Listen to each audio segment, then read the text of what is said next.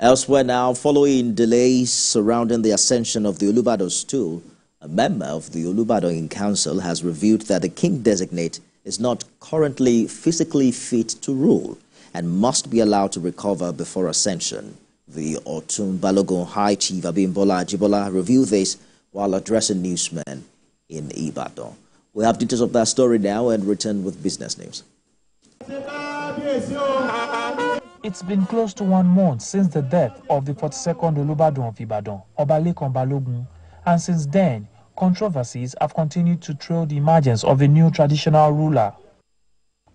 According to the traditional structure of ascension in Ibadan, the most senior member among the Olubadan Council is entitled to the throne, depending on the ruling line that follows, either the civil or the military line.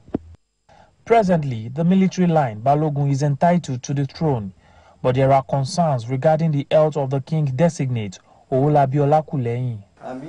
Following this development, a traditional council member of the Olubadan has stated that a crucial criterion for ascending the throne is physical fitness.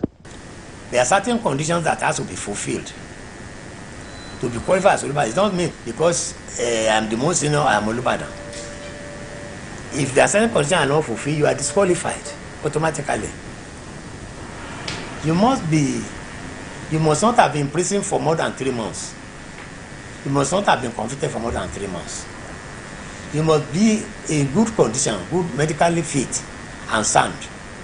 I.e. you must not be totally blind. You must not be deaf. You must be able to move yourself that recognize and talk to the people. He urges those demanding a swift declaration of the Olubadan designate to respect the law's requirements.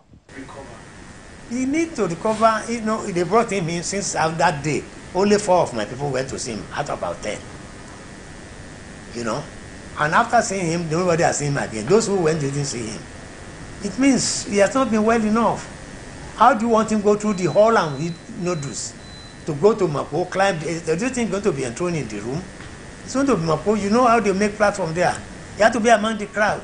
Suppose anything happens to him, they will say, "Why are you people doing like that?" They will take us for food now. Him time to recover. So laugh. It collapse. The traditional leader believes that the delay in the ascension of the Olubadan throne underscores the importance of adhering to traditional protocols and ensuring that the designated ruler meets the necessary criteria for ascending the throne. Olajo Yewole, TVC News, Ibadan.